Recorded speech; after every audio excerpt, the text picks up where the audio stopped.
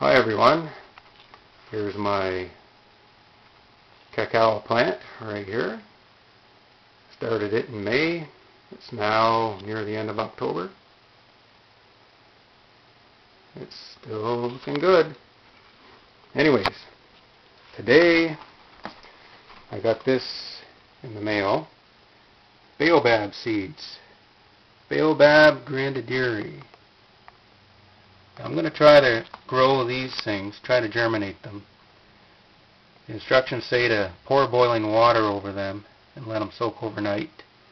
I'm going to take some and do that, but maybe two of them I'm just going to try to crack the seed or uh, score it somehow and then soak it. And I'll see how they work doing that. Got these off eBay from a fella in Australia here. Always like looking at the stamps. Kind of neat. The one on the right there is a picture of a wombat.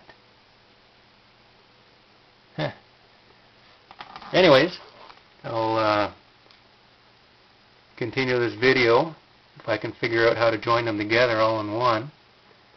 And I'll show you the uh, the process. All right.